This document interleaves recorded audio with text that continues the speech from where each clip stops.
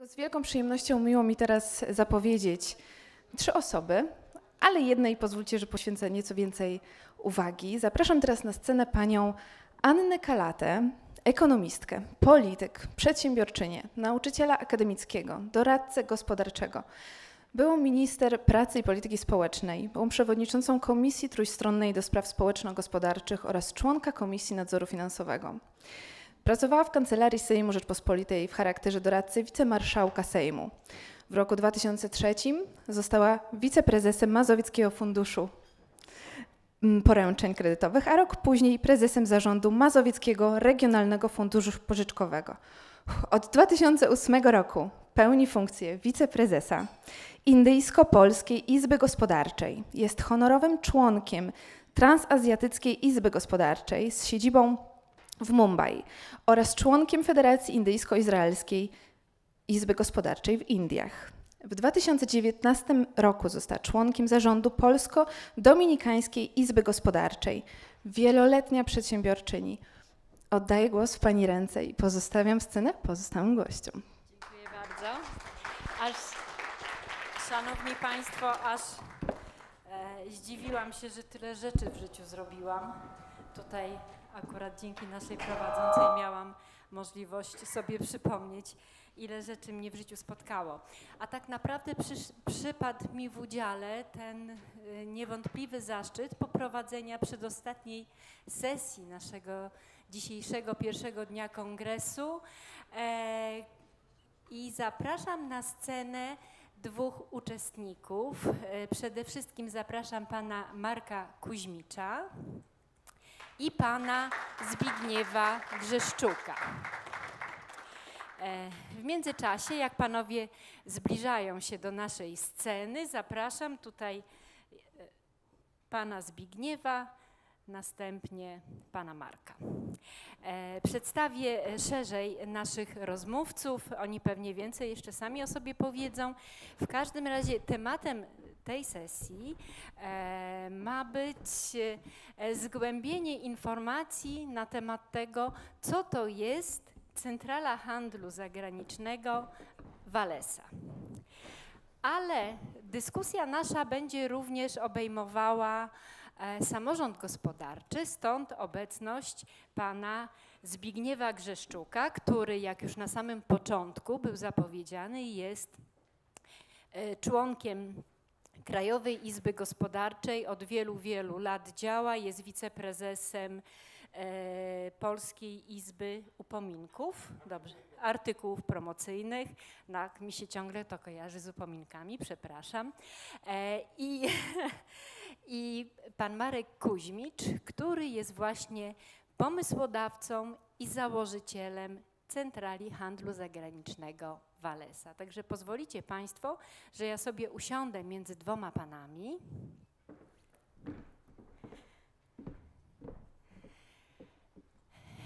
I pozwolę sobie zadać e, pierwsze pytanie panu Markowi. E, panie Marku, skąd pomysł, e, skąd pomysł uruchomienia centrali handlu zagranicznego, ponieważ no, ja mam swoje lata, myślę, że jesteśmy równolatkami prawie i trochę pamiętam tą nazwę z czasów dawnych, e, z czasów PRL-u. Mm, pewnie Państwo nie do końca pamiętacie, ponieważ mamy znaczną część audytorium młodego pokolenia. Także Panie Marku, bardzo proszę e, o przedstawienie Skąd pomysł, żeby w dzisiejszych tak, czasach tak. właśnie taką centralę uruchomić? E, bardzo mi miło. Praktycznie tak zacznę od, od, od tego, że całą ideę w tej chwili tworzenia i budowania centrali handlu zagranicznego, stąd ta nazwa taka, prawda? No, to jest to pomysł, który wywodzi się właśnie od tych poprzednich central handlu zagranicznego, które fantastycznie w Polsce funkcjonowały. Co prawda mieliśmy inny ustrój, tak, zupełnie inaczej y, funkcjonowała gospodarka. Natomiast mm, w Polsce funkcjonowały centrale handlu zagranicznego, tak jak Universal, prawda, potężna centrala z placówkami na całym świecie, centrala Rolimpex, Electrim, one skup... tak, Inspect, Inspect Me- Metal. I te centrale skupiały wokół siebie zakłady produkcyjne ró- różnych branż i, i konkretnych sektorów. Rolimpex obsługiwał praktycznie sektor spożywczy, no i fantastycznie, można powiedzieć, e, sprzedawał produkty polskie, e, no, ro- rolnicze, tak. E, Na przykład firma Zelmer, która produkowała e, na cały świat, prawda, i odkurzacze, i sprzęt AGD, żelazka i tak dalej, no to podlegała pod e, Universal. Te zakłady, potężne zakłady praktycznie, czasami tak WSK Rzeszów, na przykład za- zatrudniające po 15 tysięcy ludzi. Te, te zakłady praktycznie nie miały żadnych działów handlowych, zewnętrznych, a już nie mówiąc o, o, zagranicznych, prawda? To, to była rola central handlu zagranicznego. I w momencie, kiedy zmienił się w Polsce ustrój, no te centrale handlu zagranicznego zniknęły, prawda? No to z przyczyn politycznych wydaje się to nawet oczywiste. Zmieniła się struktura w ogóle zakładów, więcej tych zakładów prywatnych e, powstało, e, weszły koncerny też zagraniczne, no to one się innymi prawami rządzą, ale polscy producenci, polskie firmy praktycznie zostały no bez tego okna na świat, prawda? Każdy producent, ja dość dobrze to znam, każdy producent zajmuje się swoją produkcją, on jest, no, je- jego pochłania praktycznie y, bie- bieżące zakłady, tak? Y, Znaczy bieżące sprawy w zakładach, dotyczące i pracowniczych spraw, i produkcji i tak dalej. Nie ma możliwości, żeby taki właściciel, no, nawet czasem dużej firmy, prawda, żeby miał relacje w krajach arabskich, w krajach azjatyckich, w Stanach Zjednoczonych, w Brazylii, w Europie, prawda, no to jest po prostu nierealne. Y, Na, praktycznie w Europie i w wielu krajach takich rozwiniętych fantastycznie funkcjonują, i to rozmawialiśmy kiedyś na ten temat, prawda, izby gospodarcze. No w Polsce my mamy trochę inne przepisy. Nie dopracowaliśmy się przepisów takich, jakie są w Unii Europejskiej, chociażby w Holandii, w Niemczech, gdzie izby działają no, tak jak czasami jak centrale handlu zagranicznego dla poszczególnych branż, prawda? W holenderskich izbach, w momencie, kiedy przedsiębiorca chce założyć firmę, w tym momencie y, ma udostępnione wszystkie instrumenty, począwszy od założenia tej firmy, finansowania, doradców, wszystkiego i to się odbywa w izbie. Mało 2-3 lata nie płaci podatków, jest pilotowany, prawda, i dopiero później jest wypuszczany na rynek. I te izby mają relacje też zagraniczne i umożliwiają mu również y, eksport za granicą. U nas izby działają zupełnie inaczej. Ja byłem dość długo we władzach y, Izby Przemysłowo-Handlowej Inwestorów Zagranicznych w, Polsce. Tam należało ponad 600 przedsiębiorstw zagranicznych, które przychodziły do Polski. Natomiast no, napatrzyłem się na funkcjonowanie izb w Polsce i to kompletnie no, źle to wygląda. Y, Czyli nie mamy central handlu zagranicznego, a izby, które funkcjonują, no, nie funkcjonują.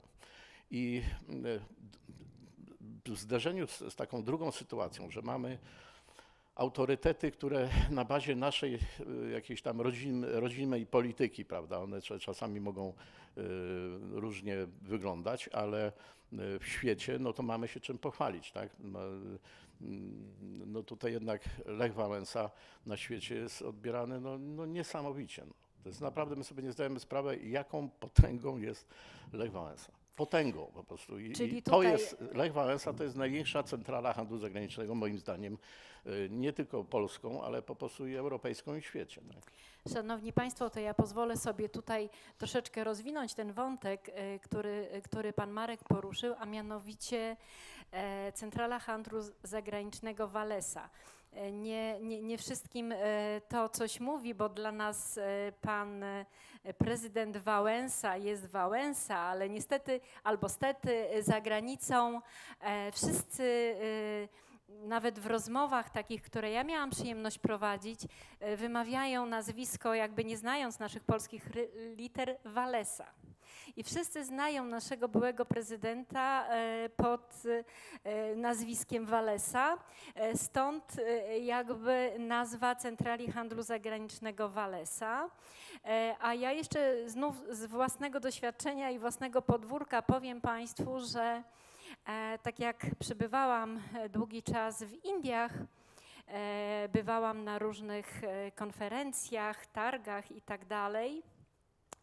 I e, taka pierwsza rozmowa y, z nowo poznanym mm, człowiekiem, biznesmenem, y, obywatelem danego kraju polegała na tym, że się pytało skąd jesteś, prawda? No ja mówię, ja jestem z Polski, I am from Poland. Co? Znaczy no, what? Holland? Więc jakby e, Polska nie jest e, szeroko znanym krajem na świecie, ale jak już wytłumaczyłam, że Holand to Holand, a Poland to Poland, to e, jak osoba e, e, już to zrozumiała, to tak po chwili e, właśnie wymieniała, a to ja znam, znam Polskę. Polska to Jan Paweł II i Walesa prawda, Walesa. E, Stąd e, jak poznałam pana Marka, to bardzo się ucieszyłam, chociaż my w Polsce mamy różny stosunek do, do byłego pana prezydenta, mamy duże podziały polityczne i jest bardzo różnie odbierany, ale mm, niezależnie od tego, kto na naszym polskim podwórku, jak ocenia działalność byłego pana prezydenta, to trzeba powiedzieć, że na świecie, tak jak powiedział pan Marek, jest to bardzo dobrze postrzegana marka, marka, która może być w tej chwili bardzo skrupulatnie e, wykorzystana w pozytywnym e, znaczeniu tego słowa dla promowania polskich przedsiębiorstw za granicą. Teraz chciałabym zapytać mm, Pana, Panie Zbigniewie, bo tutaj e, Pan Marek był uprzejmy poruszyć aktywność polskich izb gospodarczych w Polsce. Myślę, że miał na myśli zarówno te bilateralne, jak i branżowe. Pan ma bardzo duże tutaj doświadczenie w tym zakresie. Czy zgadza się Pan z opinią Pana Marka, że izby gospodarcze w Polsce nie działają e, tak aktywnie, jakbyśmy sobie tego życzyli jako przedsiębiorcy? Szanowni Państwo, powiem szczerze, a przepraszam, bo nie wiem, słychać mnie, nie słychać? Coś muszę z tym zrobić. A może po prostu zamienimy mikrofon? Raz, dwa, trzy. Raz, dwa, trzy. Raz, dwa, trzy. zła. Dobra, przepraszam Państwa bardzo. Y, powiem y, absolutnie szczerze, tak, że no moje doświadczenie, jeżeli chodzi o Izby, to 97 rok, to po primo. Po sekundo chcę Państwu powiedzieć, że oczywiście ten marazm, czy taki atawizm, który gdzieś się tam rodzi w izbach dotyczący działalności, no prowadzi do tego, że te organizacje są skostniałe. I nie tylko dlatego, że są tam y, ludzie w moim wieku albo starsi. Dziękuję za brawa. W ogóle myślałem, że jakieś brawa będą z tego tytułu, ale nie ma, dobra. Y, O, dziękuję bardzo, dobra. Tylko dlatego, że inercja tych izb, tak, wspieranych przez członków, no jest taka, że no płacimy składkę, a czym się zajmuje zarząd, no to tam y, nie wszyscy wiedzą, nie? Oczywiście mamy Krajową Izbę Gospodarczą, y, Gospodarczą, gdzie ja jestem radcą i oczywiście odbywają tam się historie związane z, y, y, z przy, przyjmowaniem tutaj i delegowaniem polskich przedsiębiorców na tak zwane rynki zewnętrzne. To są delegacje, prawda, i organizowane wyjazdy handlowe na targi, na różne sympozja, etc., etc. I to się dzieje. Skutek finansowy dla przedsiębiorców jest różny. Tak? I powiem Państwu, z czego to wynika. Wynika z tego, że ja w 1997 roku, jak zakładałem Polską, Polską Izbę Reklamy, do hotelu Nowotel zaprosiłem 100 moich znajomych. No, miałem jedną z większych polskich firm reklamowych, w związku z tym wszyscy mnie znali. I na moje nazwisko przyszło 100 osób i stworzyliśmy izbę, bo taki był wymóg. Zresztą ten wymóg y, jest do dzisiaj, tak? bo stowarzyszenie 15, a izba gospodarcza to 100. I ta izba moja trwa do dzisiaj, tak, yy, z różnymi perturbacjami, czyli już naprawdę dłu- dłu- długo lat. Yy, I chcę Państwu powiedzieć, że mamy problem my jako przedsiębiorcy, ponieważ my nie chcemy się zrzeszać. No mamy taki dziwny właśnie atawizm, o którym mówiłem, że my wiemy lepiej, tak? No jeżeli Amerykanina Państwo spytacie, jak mu się spalił dom, ukradła, ukradli mu samochód, za insurance mu nie chce wypłacić odszkodowania, żona uciekła z narzeczonym drugim, prawda, dzieci się nie uczą. Pytamy się Amerykana, co słychać? On mówi, okej, anything is fine, absolutely is fine. Pyta się polskiego przedsiębiorcy, który wjeżdża 600 do willi z basenem dzieci, z dzieciakami, prawda, hamburgery, żonka w norkach. Pyta się, co słychać? On mówi, nie, to kurde, to rzucę, to się nie da robić tutaj. No po prostu koniec świata, nie? No i taką mamy przypadłość niestety, genetyczną. Y, W związku z tym chcę absolutnie szczerze powiedzieć, że y, no mamy problem, a warto się zrzeszać, tak? Dlatego, że na litość boską, no te przepisy, o których tutaj była mowa y, z tej sceny, które no, strasznie nas irytują, przeszkadzają w prowadzeniu działalności gospodarczej, inaczej okradają nas, mówiąc wprost, no powodują to, że dajemy przyzwolenie, nie będąc zrzeszonymi, tak? Bo za nasze pieniądze, no rząd ja wiem, że się zawsze wyżywi, tak? Tylko dlaczego robi to w taki sposób y, okrutny, mówiąc, że y, no, padało tu jedno słowo od jednej ministrze, który sprawdził się na wszystkich możliwych stanowiskach, no a my nic z tym nie robimy jako przedsiębiorcy, więc warto się zrzeszać, pomimo tego, że mamy ambiwalentny stosunek do tego, jak działają izby. Trzeba zmieniać tą rzeczywistość. No i myślę, że to, co pan Marek powiedział o, o, o Lechu Wałęsie, w sensie tej, tego, nowego rozdania, to też jest taki impuls. No idą nowe czasy, mimo że mamy jakiś stan wojny, prawda, i po pandemii jesteśmy, to warto zrobić coś nowego. Warto się zrzeszać i warto być razem, naprawdę, uwierzcie mi. Dziękuję bardzo, e, panie Zbyszku. Panie Marku, mm, powiedział pan e, e, parę słów o Centrali Handlu Zagranicznego. Mam pytanie, czy biorąc pod uwagę już aktywność tej organizacji, czy mógłby Pan nam przybliżyć, jakie rynki i jakie branże mają największe szanse dla naszego polskiego biznesu? To znaczy, no, naj, naj, naj, najbardziej takimi interesującymi podmiotami i, i, i, takimi, które chyba mają największą szansę na sukces przez taką centralę i te kontakty, no to, jest, e, to są na pewno producenci. Tak? Ja, ja ciągle się do tego odwołuję, dlatego że producent produkuje, tak? on musiał wcześniej dużo też zainwestować, żeby taką fabrykę e, posiadać, prawda? zatrudnia ludzi, on, on płaci podatki, jest na miejscu, prawda? jest bardzo stabilnym partnerem, a poza tym no, też wspólnie możemy ocenić, jaką on ma, jakie on ma zaplecze, tak? jaką logistykę. Nie, nie na zasadzie, żeby go tam w jakiś sposób oceniać i dyskwalifikować czy, czy, czy nobilitować, ale żeby po prostu dopasować go, bo zdarzyły się takie sytuacje, ale to mi się zdarzyły takie sytuacje, dwie, gdzie jeden z producentów polskich chciał wejść ze swoimi towarami na rynek amerykański. I to zrobiliśmy. I to zrobiliśmy fantastycznie i, i po prostu nie, nie, podołał logistycznie. Ilość produktu, która ma być wyprodukowana w Polsce, ilość, y, która płynie, prawda, magazynowanie na terenie Stanów Zjednoczonych, logistyka na terenie Stanów Zjednoczonych, ilość towarów sprzedaży, przepływy finansowe, no to jest, to, to jest właśnie wszystko to, co staram się y, aby przedyskutować przed zawarciem jakiegoś porozumienia i wprowadzania. Y, producenta. Dlatego czasami możemy y, dopasować, bo, bo producent bardzo często, czy firma bardzo często ma ogromne plany, mm, Natomiast my możemy im doradzić też, że może zacznijmy tak krok po kroku, nawet w tych Stanach Zjednoczonych. Zacznijmy od stanu takiego, od stanu takiego, od stanu takiego, prawda?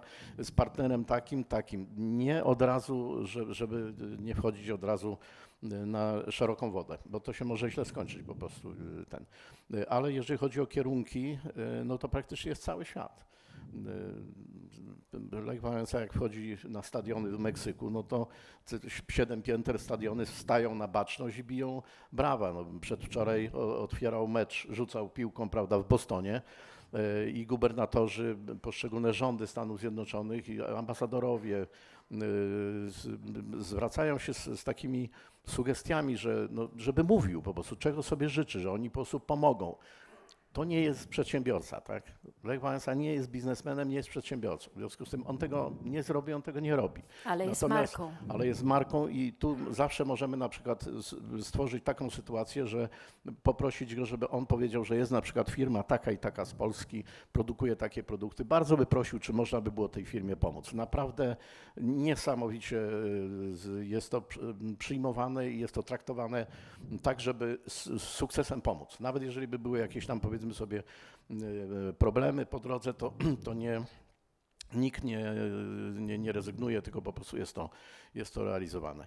E, branże tak różne, że ja po prostu tak się zastanawiałem, czy w którymś momencie przestanie mnie coś zaskakiwać, ale cały czas mnie zaskakuje, prawda? Ostatnio mamy e, firmę z zakresu ochrony danych, IT i tak dalej. No wydawało mi się, ja nie do końca sam czuję, prawda, bo to dobrze mieć, czuć temat, no ale okazało się, że są to osoby bardzo no, kompetentne, świetnie się też prezentują, potrafią rozmawiać, znają języki, mają świetny produkt, podpisali już umowy z dwoma, trzema koncernami, prawda, i w tej chwili będą w Stanach Zjednoczonych w czerwcu. Już im zorganizowaliśmy im spotkania na najwyższym szczeblu i z uniwersytetami, do których naprawdę nie mieliby wejścia, z jednoczesnym jeszcze takim mm, no, namaszczeniem, prawda, że to jest firma z polecenia Dalaj Lamy, ja to tak mówię, prawda, czyli powiedzmy sobie Lecha Wałęsy, tak? I, i, i, I, mówimy teraz o Stanach Zjednoczonych, bo trochę kładziemy nacisk na te Stany Zjednoczone, z tego względu, że no już kolejny prezydent, który przelatuje do, do Polski, zaczyna, dziękujemy Lechowi Wałęsie, prawda? Ostatnio to prezydent Biden wygłosił na wstępie, wcześniej był prezydent Trump, tak samo, który wiele, wiele lat zabiegał, żeby z Lechem Wałęsą się spotkać y, w ogóle, prawda? I dzwonią też ambasadorzy, więc no jest bardzo, bardzo dobry klimat i jednak Stany Zjednoczone w tej chwili przez ten konflikt, który jest i przez te napięcia międzynarodowe, no pokazują swoją siłę i tam jednak ta stabilizacja jest cały czas, jest, jest dolar, jest pieniądz, są koncerny, są dolary, są, są pieniądze, prawda? I jest, jest, jest popyt.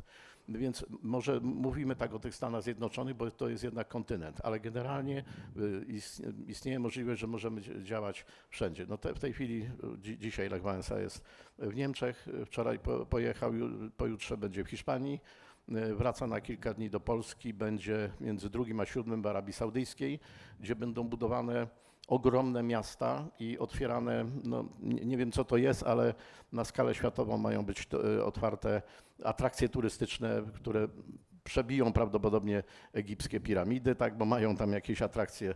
Ten, wokół tego cała infrastruktura powstaje. Wczoraj rozmawiałem z Polakiem, znaczy to jest Amerykanin, ale z, mieszka w tej chwili w Polsce.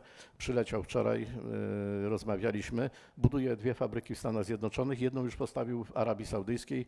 To są to y, betonowe prefabrykaty i budują z tego hotele, domy, rezydencje i, i, i, i po prostu już są w Arabii Saudyjskiej. Czyli no, są firmy polskie, które potrafią się znaleźć. Jest dużo firm produkcji mm, masz te, takiej produkcji ciężkiej, prawda, sprzętu, maszyn, ale również y, tutaj będziemy rozszerzać y, kontakty o firmy z branży spożywczej, dlatego że chociażby Bahrajn i, i ta rodzina królewska Bahrajnu bardzo zabiega u Lecha Wałęsy, żeby otworzyć tam takie dość duże hale, dlatego że Bahrajn zaopatruje inne kraje arabskie w żywność. Tam jest milion y, mieszkańców raptem, ale zaopatrują cały region, prawda? No tutaj relacje nie tylko przez Lecha Wałęsa, ale też wiele osób z, od nas z dyplomacji z, i poprzez kontakty z innymi noblistami i takie międzynarodowe, no to mamy przełożenia na, prawda, na Indię, na, na, na, na, na, na całą praktycznie Unię tych e, krajów azjatyckich, e, kraje arabskie, Zatoka Perska, e, Katar, Liban, prawda, północne kraje afrykańskie, w ogóle Afryka, Brazylia, Ameryka Południowa, no Stany Zjednoczone, Kanada, no Europa nie wiem, chyba w październiku Lech Wałęsa wrócił z Francji, otrzymał też tam nagrodę takiego klubu e, milionerów. To, to większość z nich jest, to mają te swoje zamki, prawda, produkują wina. E, no i tam zwrócili się do niego, żeby pan prezydent mówił, co pan prezydent sobie życzy, w czym możemy zadziałać, co możemy pomóc, prawda? No, trudno jest wymyśleć, prawda? Ale jeżeli mamy firmy z Polski, które by chciały coś we Francji na przykład y, robić, tak? Czy chcą współpracy z koncernami francuskimi na terenie Polski albo jakiejś kooperacji za granicą, no to takie życzenia na pewno będą spełnione i, i do, mówię, dopóki, dopóki żyje, oby jak najdłużej, tak? I to mhm. i Lech Wałęsa, ale też wielu tych wspaniałych naszych kolegów i ambasadorów i po prostu i, i za granicą, prawda? Dopóki oni żyją, no to jest szansa skorzystania, prawda, z tych kontaktów. No i dlatego no tak to budujemy w tym, w tej centrali. Prezydent Lech Wałęsa jest żywą historią Polski i w tej chwili, jak słyszycie Państwo, bardzo aktywnie działa na rynkach międzynarodowych, podróżuje, promuje nasze polskie firmy. A teraz w tym kontekście promocji chciałam zapytać e, Pana, Panie Prezesie, jak Pan e, ocenia jakby nasz, działalność naszych instytucji rządowych e, w kontekście promocji polskich firm na rynkach międzynarodowych. Czy jest ta promocja wystarczająca, czy instytucje, które są za to odpowiedzialne, jak na przykład PAIH, tudzież właśnie izby bilateralne, spełniają swoje zadanie. Ja Państwu powiem szczerze, że odniosę się również do słów Pana Marka, bo y, napiłem się rumu za darmo y, w związku z tym, że byłem y, na Dominikanie i z moją żoną stałem, jak sobie Państwo, było krzyż południa, ciepło, druga w nocy, no i zamawiałem rum, czyli Cuba Libre, taki napój, który wymyślił Hemingway. No i obok stał rdzenny mieszkaniec Dominikany i mówi, where are you from? Ja powiem, from Poland. A, mówi Lech Wałęsa, płacę za ciebie w barze, prawda? W związku z tym chcę Państwu powiedzieć, że marka naprawdę jest znana i rozpoznawalna, natomiast my mamy kłopot ze swoją marką, tak? My mamy kłopot ze swoją marką z nami, w sensie jako firmami. Nie bronimy tych marek, tak? Że, e, że nie wspomnę mojej przygody na przykład z Zamkiem Królewskim, gdzie ja jako producent bardzo fajnych czekoladek z wizerunkiem Zamku Królewskiego. Dostarczałem je przez ileś sezonów na ten zamek, po czym pani dyrektor do mnie zadzwoniła z Zamku Królewskiego, mówi panie Zbyszku, tak autorytatywnie jak nauczycielka, mówi panie Zbyszku, od dzisiaj niestety nie możemy tych czekoladek kupować od pana. Ja mówię, a co to się stało? Będziemy kupowali, proszę pana, teraz od polskiej firmy Ewedel. Ja mówię, no to pani dyrektor się musi douczyć.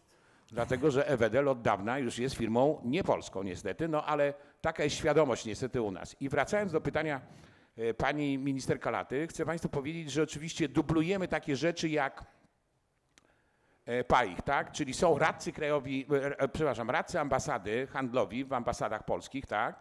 Potem jest PAIH, gdzie wysłano na placówki handlowe młodych, niedoświadczonych ludzi, kompletnie nie mających żadnego rozeznania co do rynku, na którym funkcjonują i ci ludzie mają zawierać w imieniu polskich przedsiębiorców kontrakty. No kurde, życzyłbym sobie, żeby prawda, y, te kontrakty nie skończyły się na tym, jak to kiedyś za, za moich y, młodych czasów pytano polskich marynarzy, jak wygląda handel w RP, czyli w Polskiej Rzeczpospolitej Ludowej, nie? No oni mówią, ci marynarze opowiadają, mówi, no bierzemy statek, gdy nie ładujemy węglem polskim, płyniemy do Anglii. Z Anglii bierzemy dżinsy, płyniemy do Brazylii. Z Brazylii bierzemy, y, b, b, znaczy wyładujemy te dżinsy, banany zabieremy. Banany płyniemy do Kaliningradu. Dobrze, do Kaliningradu płyniecie, no a stamtąd, no a stamtąd wracamy pociągiem. Nie? No i tak to, jeżeli tak działają te centrale, y, prawda, w naszym rozumieniu, to powiem, że y, y, słabo to wygląda.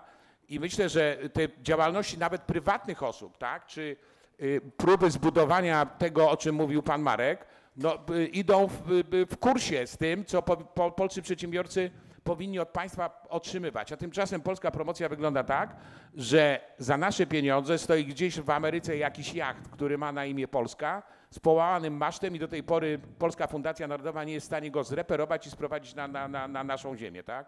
Natomiast wydaje majątek na różne działania promocyjne, które z, działaniami promocyjnymi niestety niewiele wspólnego mają. W związku z tym powiem szczerze, absolutnie, że negatywnie, bardzo poważnie negatywnie oceniam działalność tego typu poczynań. To są rozdawane synekury dla znajomych królika, natomiast nic nie wnoszą do naszej działalności gospodarczej. My jesteśmy fantastycznym krajem, który jest w stanie generować nie dość, że pomysły, ale jest w stanie realizować jako producent wiele fajnych rzeczy, sprzedawać i zarabiać na tych, tylko się skupia na, na czym innym, tak? Na takim ogrywaniu naszego społeczeństwa politycznie, a nie na pragmatyzmie, na takim pragmatyzmie zdroworozsądkowym, który powoduje, że my jako przedsiębiorcy jesteśmy sprzedawać w stanie nasze towary na całym świecie, o czym tutaj pan Marek był uprzejmy wspomnieć i nie ma z tym problemu. Jest kwestia tylko determinacji i tego, żebyśmy mierzyli swoje możliwości, prawda, i zamiary na y, odbiór rynku, tak, bo w wypadku Stanów naprawdę to jest wyzwanie,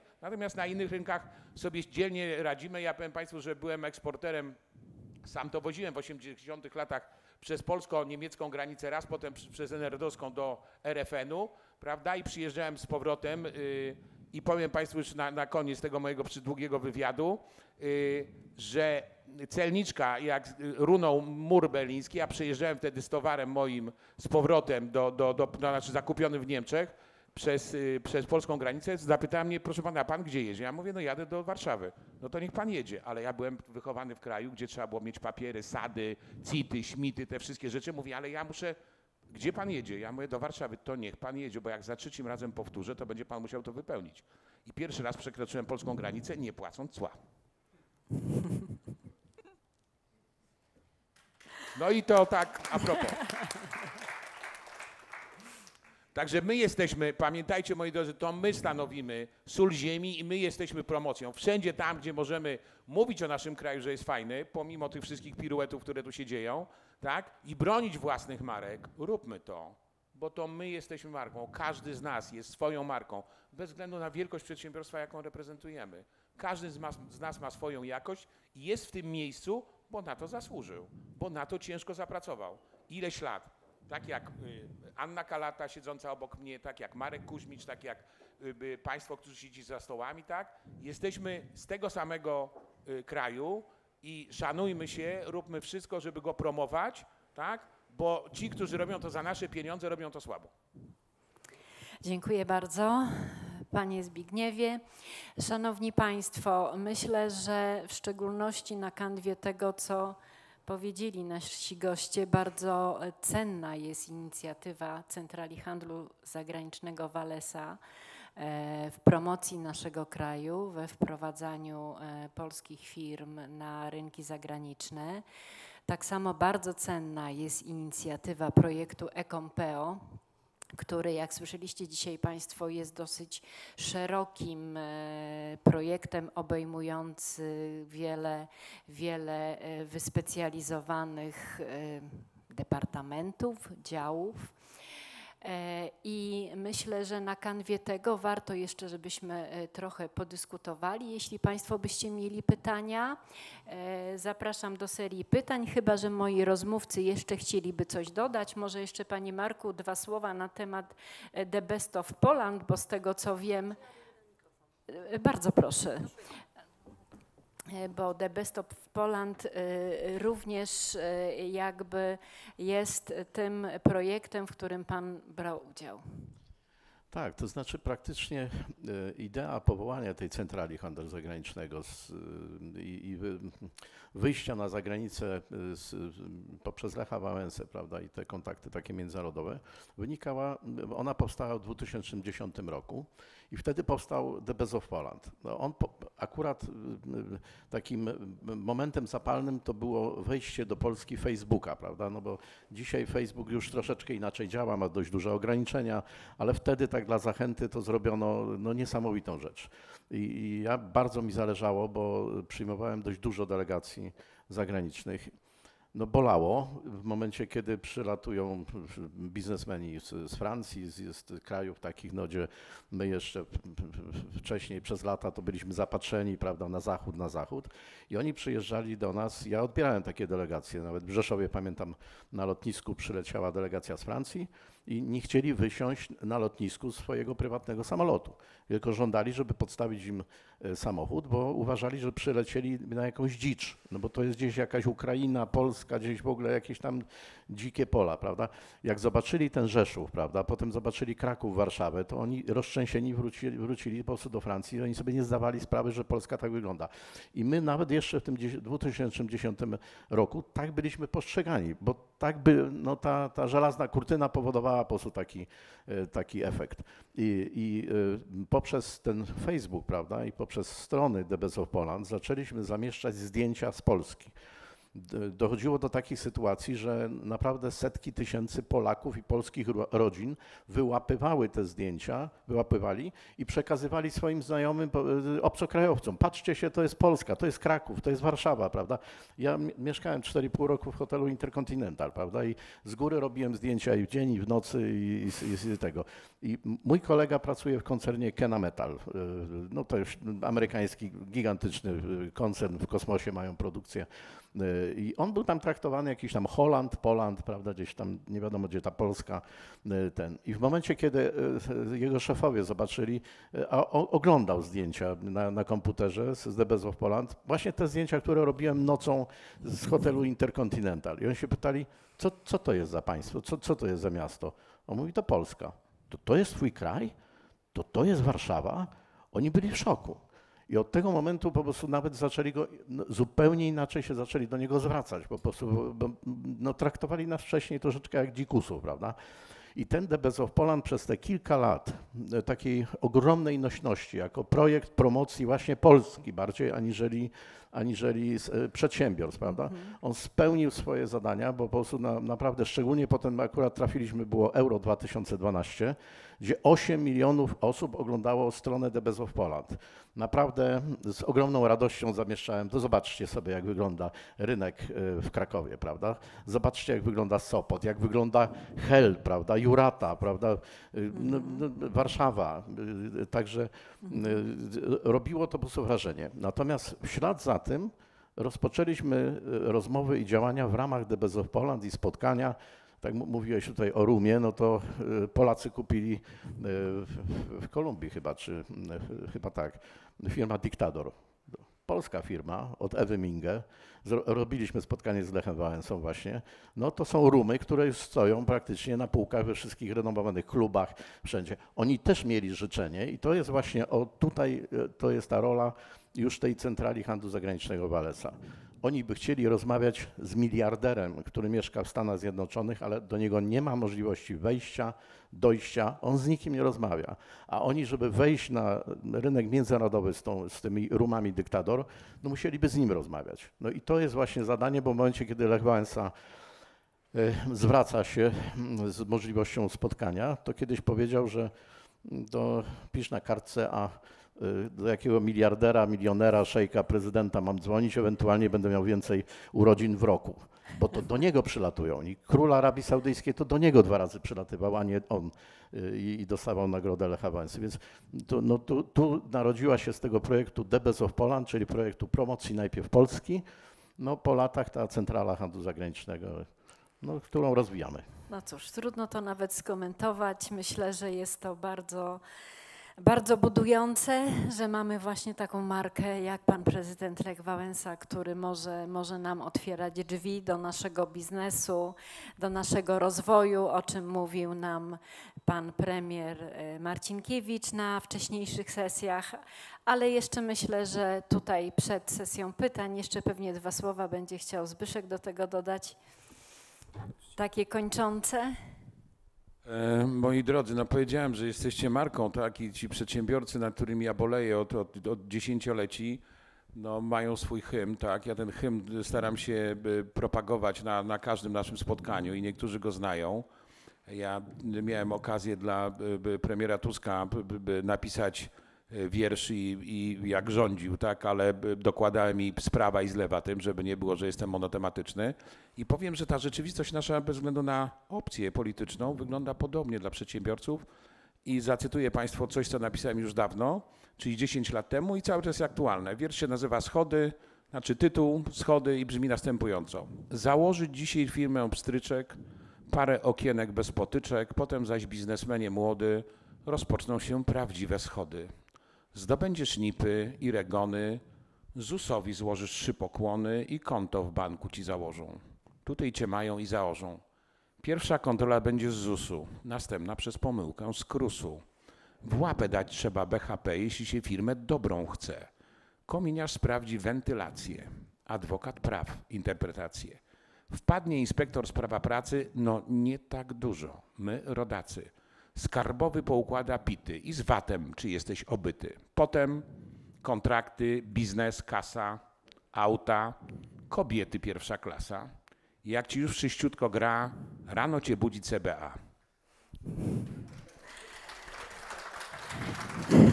Szanowni Państwo, bez komentarza zapraszam do sesji pytań. Jeśli macie Państwo pytania, zapraszam teraz. Jeśli w kuluarach, to również zapraszam do rozmów.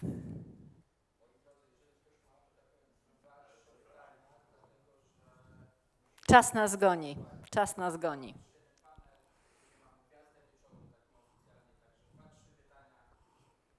Mamy pytanie. Poprosimy o przekazanie mikrofonu. Można siedzieć. Tak?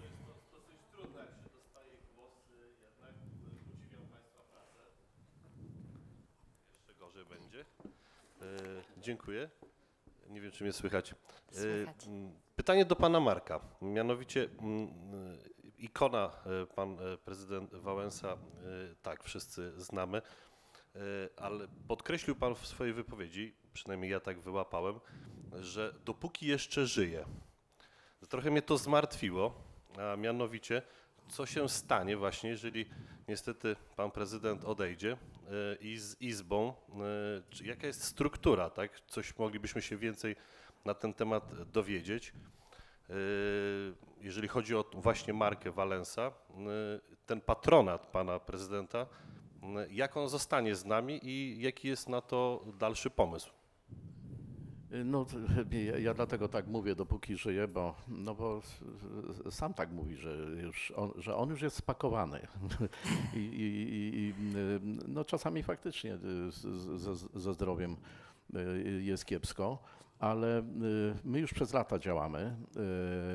W tej chwili troszeczkę nabieramy jeszcze większego rozmachu, ale w gronie Lecha Wałęsy jest jego no, naprawdę wspaniała rodzina jest Adam Domiński, zięć, już od 20 lat. Je- Jest obecnie prezesem Instytutu Lecha Wałęsy. W tej chwili otwierają i otwieramy y, y, fundację w Teksasie. Y, Uczestniczy w tym Fundacja Karskiego, takie międzynarodowe kancelarie i w Las Vegas otwieramy Wałęsa Corporation. Bardzo się to spodobało, że w końcu też jakieś biznesowe y, zaplecze będzie i y, osoby związane z Lechem Wałęsą i szczególnie też y, z jego właśnie rodziny, prawda? No i grono od nas, które już jest utożsa- utożsamiane, prawda, z, z, z- tą częścią biznesową, nie polityczną. To no można powiedzieć, że tworząc w tej chwili taką i kapitułę fundacji, a również w Las Vegas Radę Nadzorczą. No chcemy teraz tam zaprosić osoby z rodziny Bushów, Reaganów, Trumpa. Pani Mosbacher również ba- bardzo, bardzo tutaj dzwoni i, jest e, aktywna, więc to będzie działało dalej. No, na, pewno, na pewno już nie tak, tak nie daj Boże, prawda, jak jest Lech Wałęsa. No bo to jest, to jest te, te emocje, które jak on się pojawia gdzieś, prawda, czy to w Stanach, czy w innych krajach, no to, to są ogromne. I to jest jednak ogromny kapitał. Ale myślę, że, że, że, że utrzymamy z, z rodziną. y, Możemy być spokojni, tak? Tak, tak. Dziękuję wyczerpująco. Dziękuję. Dziękuję. Dziękujemy. Czy jeszcze jest, mamy jakieś pytanie z sali?